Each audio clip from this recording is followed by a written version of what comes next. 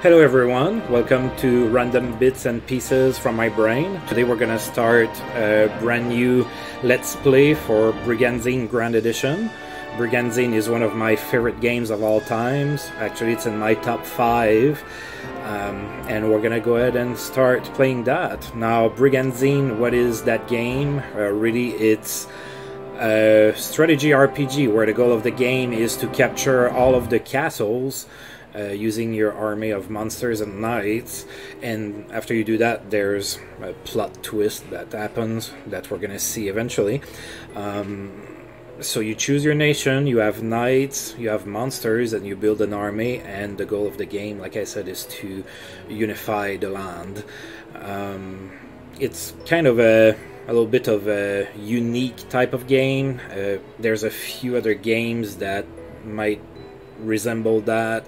Uh, I think about, for example, Dragon Force, uh, maybe a little bit of Master of Monsters in there, uh, maybe a hint of Ogre Battle as well. But it, it, there's not a lot of games like this, and I think its uniqueness is really what drew me to that game for so long. Uh, back in the day, uh, we got Brigandine Legend of Forsena. Um, which is not exactly the same game as this. This is Grand Edition, which never was released outside of Japan, so obviously right now I'm playing a, a patch made by fans. Um, there's a lot of differences between the games. The biggest one, and as you can see on the screen now, probably the biggest difference between Legend of Forsena and Grand Edition is that there's a multiplayer mode in Grand Edition obviously I'm by myself, so I'm not going to be playing that. I'm going to play the story, and we're gonna see if we can uh, unify the LAN.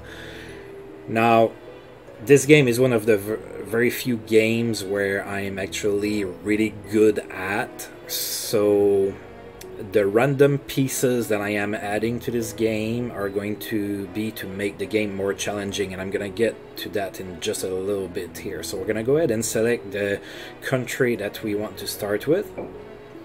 Uh, I'm going to select King as the difficulty, that's the highest difficulty of the game, and I think that most fans of the game are going to agree with me that as awesome as this game is, the AI is maybe a little bit lacking. And once you've played that game for quite a bit, um, the game becomes kind of easy. So that's why I'm going to put some restrictions on myself uh, that are going to be mostly random. Uh, and hopefully that's going to add a good challenge to the game. So we're going to set a king. And now we're going to see a little bit of an overview of all of the lands that we can select. So here we have New Almekia, uh, which is ru ruled by Prince Lance. So the way that the story starts is there's a coup. Uh, and I'm not spoiling anything because we're going to see that here in just a second. But um, there's a coup, and uh, Prince Lance is from the former kingdom uh, that just fell, so he's going to be trying to reunify the land under the name of his old country. Then we have uh, Norgard, which is basically kind of northern barbarian type, uh, very focused on combat and everything. Uh, it's led by Vaynard. Uh, completely to the east, we have Leonia, which is ruled by Leonis. That's going to be the country that I am going to select. Um, a lot of people tend to say that it's one of the hardest countries to use because their high level knights to start are not all that strong, and the knights that are going to get strong start at a very low level. Uh, also, there's not a lot of really good monsters to get at the start, so it makes it a little bit challenging, uh, but that's always that's one of the lands that I use the most. Uh, here to the southeast we have Iscalio with uh, as the the ruler, the mad tyrant. Uh, he's pretty strong. Uh, he likes to rule his country as utter chaos. Um, pretty a pretty strong one.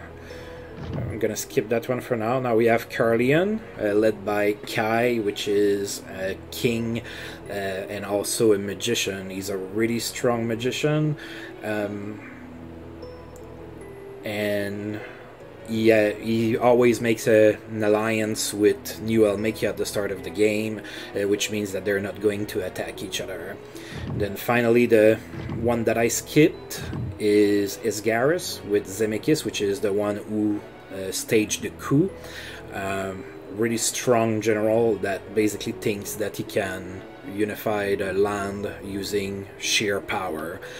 Um, if you play as Esgaris, it's one of the hardest countries to use. Yes, they do start with a lot of really strong knights, but they they're in the middle. They have a lot of uh, fronts to cover at once, and it's extremely hard for them to get extra knights to help defend them.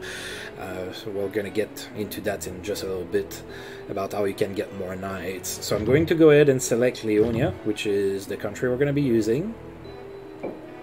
And yes, this is my path. So there's going to be a little bit of the story at first, where I'm going to read through that.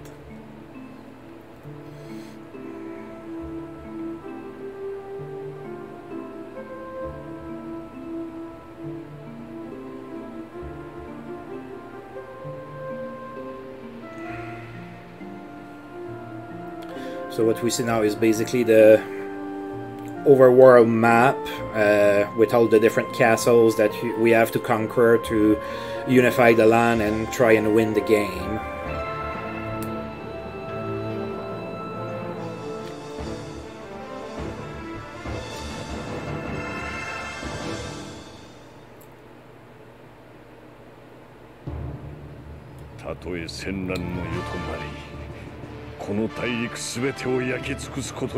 And no, I do not have a patch for English voiceovers. I tend to prefer the Japanese ones anyway in any game that I play.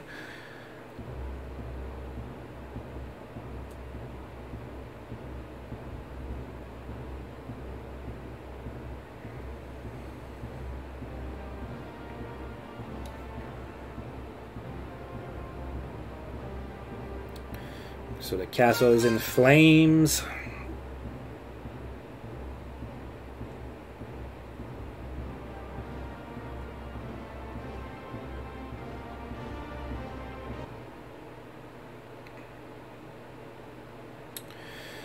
Alright, and uh, the coup was staged and a battle ensued and ensure and then we are now in our capital in Leonia. So our story starts now.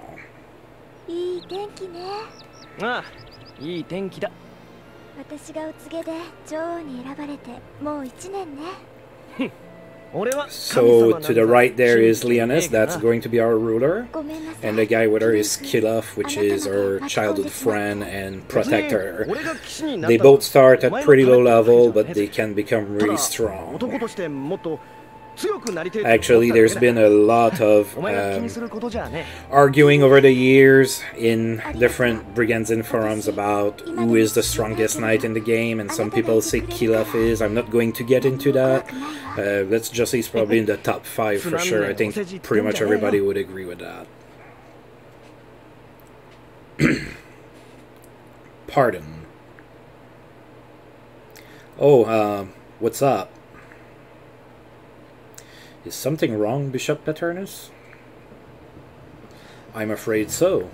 Everyone is gathered in the Great Hall. We must join them.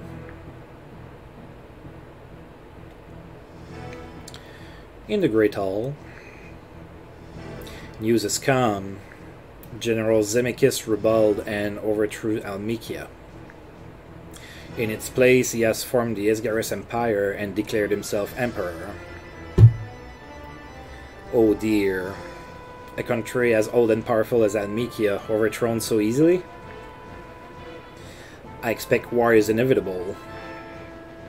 Almekia's fall leaves a power vacuum that will ignite the hearts of the ambitions across Forsena. Surely Leonia will not get caught up in this. Don't worry. If you look worried, everyone in Leonia will panic. Yes, sometimes Kilov gives good advice. What do you mean, sometimes? So in the story, Kilov and Asmit are often at odds. They don't see eye to eye about how to help defend the country, so...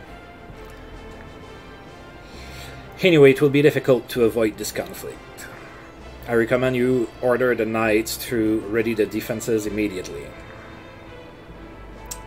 Yes. I don't know if I'm up to this.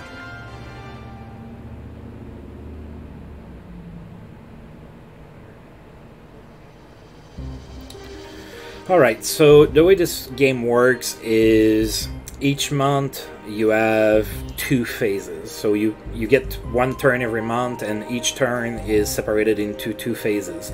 The first phase is the organized phase. That's where you get to move your troops around. Uh, you can hire more monsters. You can send your knights on quests. Um, you can equip new items that you found. Uh, you can class change your knights, promote your monsters, all that kind of good stuff. This is a this is the bulk of how you're going to set up your army so that you can actually win some battles. After you you set an organized phase uh, is the battle phase. So that's where you can attack to invade uh, the other countries. A knight that just moved that particular turn cannot attack that turn, but it can defend. So if you move a knight, so if I was to move a knight over here, next turn I wouldn't be able to attack up here with that knight, but if over here they decide to attack me down here, then I get to be able to defend with that knight. So that's strategy to uh, to remember here. Um, I'm gonna go ahead and go over all of the characters that we start with and then I'm going to after that explain what are going to be my restrictions for playing the game uh, so that we um, can see that or so that I can maybe raise the challenge a little bit. So we're gonna start here in Damas. Alright, so we can see uh, if I click on it we can see Damas Castle. I have three knights over there and seven creatures. So the way that it works is that each country has a certain amount of knights. The knights are basically your generals, and each of them are going to have an army of monsters with them. Um, so if we go into organize here, we're going to see a little bit how it looks like. So here we have Isphus, and Isphus has a rock and two clay golems with him. Um,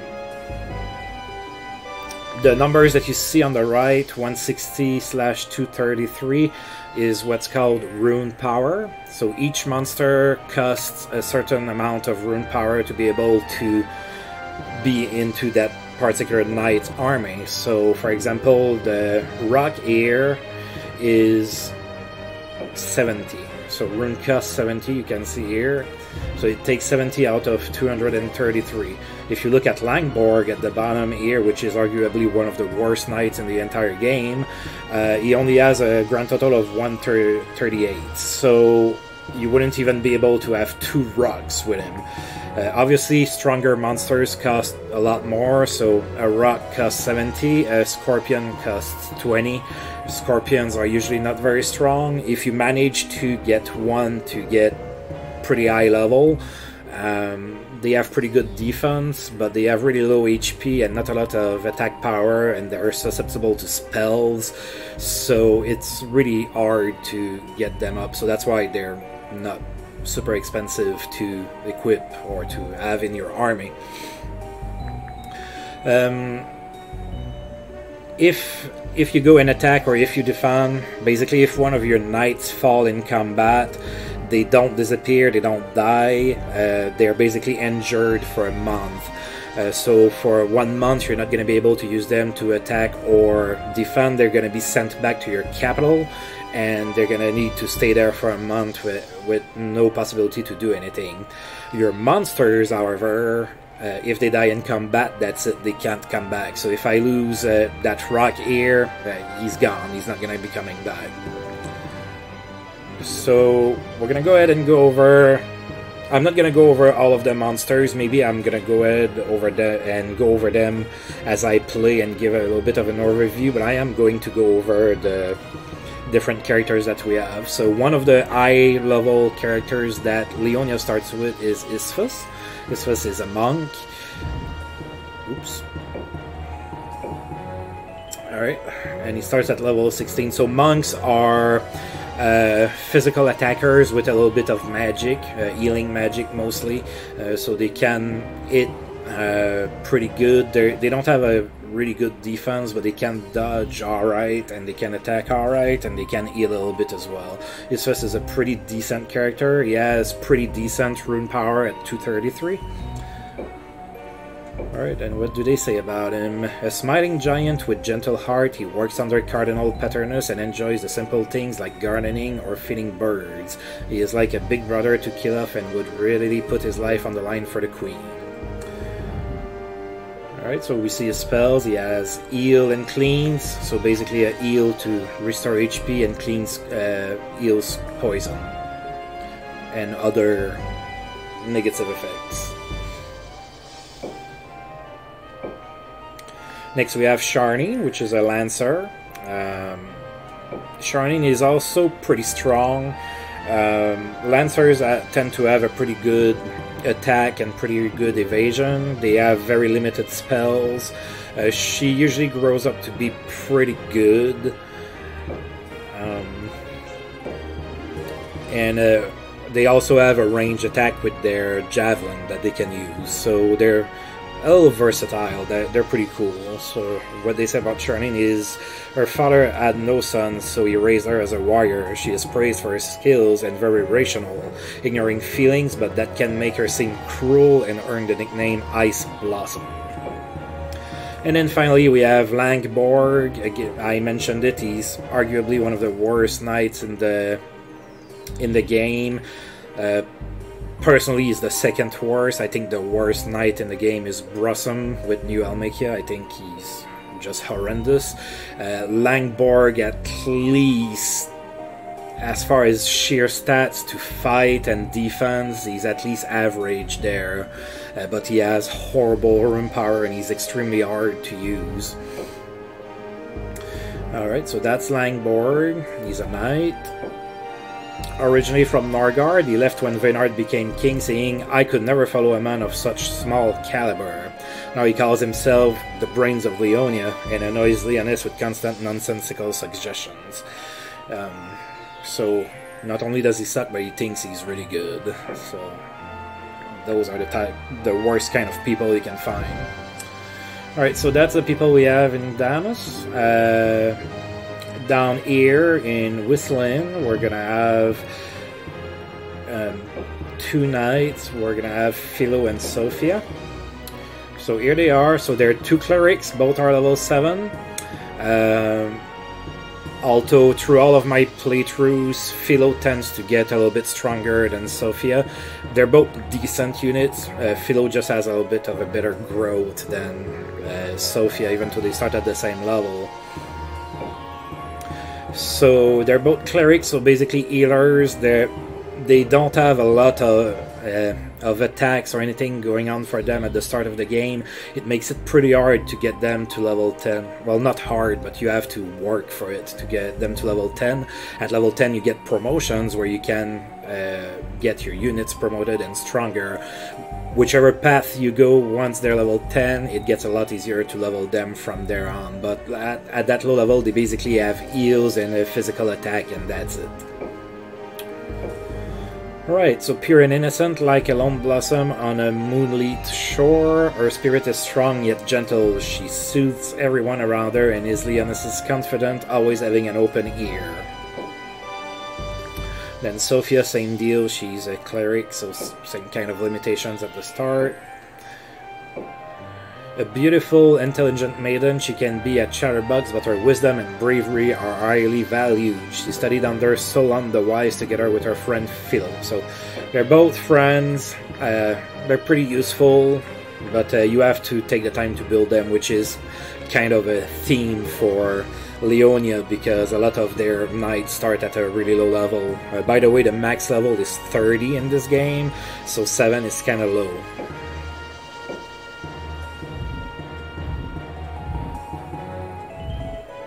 Next, we're gonna go down here. So when you see that uh, there's no flag uh, in the wind here, that means there's no knights there. And when you see the flag uh, move like that, that means there are people there. So now in Hadrian, we have two knights as well. So here we have Chantel, which is a pyromancer, which is basically a mage, and we have Raisin, which is a monk. We already talked about monks. So mages are really strong in this game because all of them get at least one AoE spell, and AoE spells can be devastating uh, with how quickly you can kill stuff. So Chantel starts again at a level, level 6. He is cool and reserved about everything except his infant son. Beaming with pride, he talks about him all the time, even to the queen, dreaming of his son's wonderful future. And then we have Raisin, is another monk. He is nowhere near as strong as Isphus. He's still useful, but he has low rune power, just 160, and uh, because of that, he's a little bit harder to level out. Obsessed with training, he quietly keeps to himself unless challenging someone to a sparring match. He once killed a training partner and so is disliked by his countrymen, though he has never tried to excuse his guilt and stands in battle to defend them.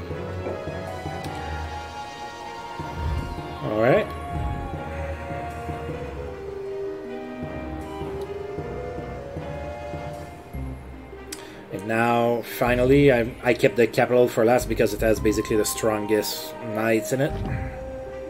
So we have four knights here.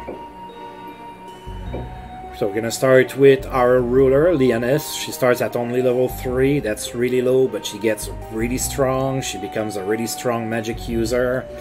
And um, she's extremely useful because of that. So Here's what they say about her. Once a common village girl, she was chosen as queen of the pious land of Leonia through prophecy. Quiet and gentle, her people admire how she bravely fulfills her duty. Kilof is her friend since childhood. I already mentioned that. Now we have Kilof, also starts at level 3, really low level. Once again, if you take the time to level him up, he becomes one of the best units in the game. Alright, he's a barbarian. Those are more like just front row units. While temperam temperamental, he is a lifelong friend to Leoness and became a knight to protect her. Though he often speaks sharply to her, his actions show he actually cares a great deal. Next we have the highest level knight that Leonia starts with, which is Paternus, level 20. He's a cardinal, so that's a priest on steroids.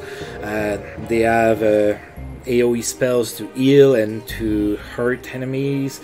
Paternus is a pretty good unit, not the strongest one you're gonna find, but he's uh, he's pretty decent. He's definitely at the start for Leonia is definitely the strongest one, although he's going to get surpassed eventually by uh, some of the lower level units when they level up. Excuse me. Alright, so a warrior priest who fights beside Leoness, he watches over her and Kilof like a father. Since Leoness is unfamiliar with bureaucracy, he handles governmental details for her. And finally we have Asmith, uh, which is a bishop, which is a priest with some attack spells and some healing capabilities. Can also attack a little bit, not not too strong, not too weak. A wise leader in Leonia, he is known as a perfectionist who can be too rigid, but the queen trusts him fully. Kilof doesn't like that she relies on Asmith so often instead of him. Right, so those are your starting knights when you start with Leonia. Um, through gameplay you're gonna find more and I'm going to explain a little bit of that as we play Uh, now, before I stop the introduction video, I'm going to uh, explain what my limitations are going to be to make the game a little bit tougher. So, the first thing that I'm going to do is.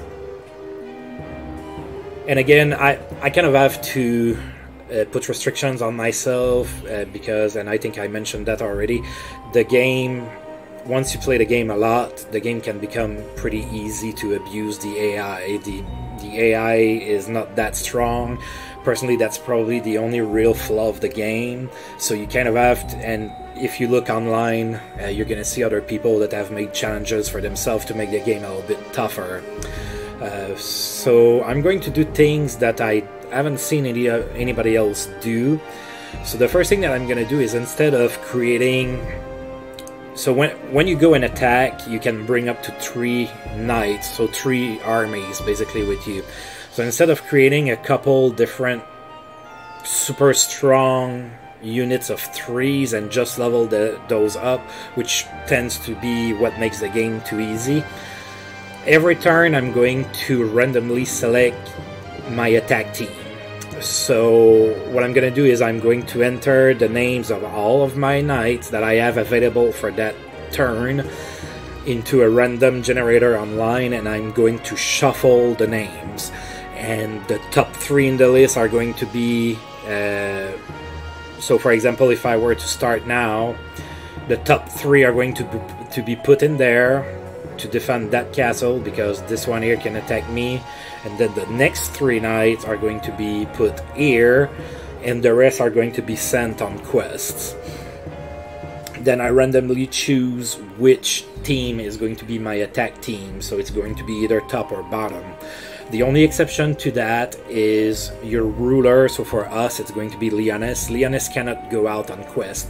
So basically, I will hit the randomize button until Leonis, so in this case here, is going to be into the top six people, so that she's at least in, a, in one of the two there, since she cannot go on quest. That's the only exception.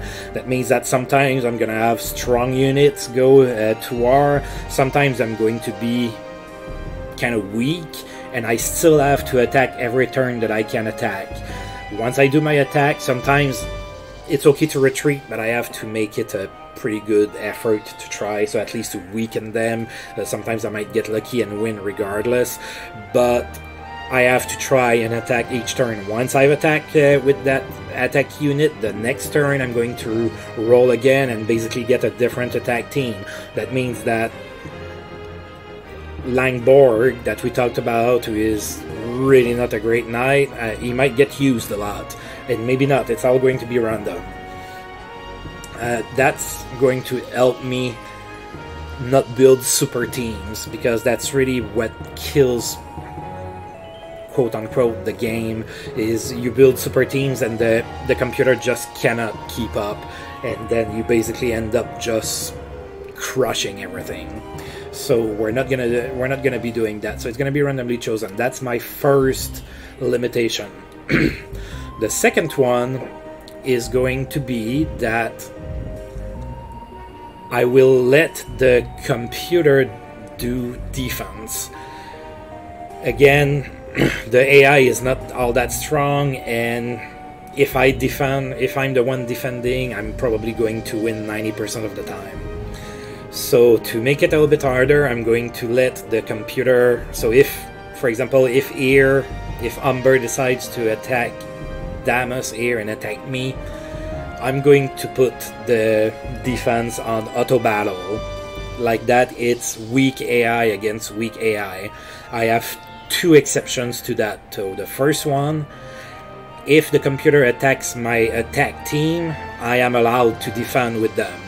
So if you know if the if Damus was the attack team that was randomly selected for me and and Humber comes and attacks me before before I have the time to attack them, then I'm allowed to do that defense.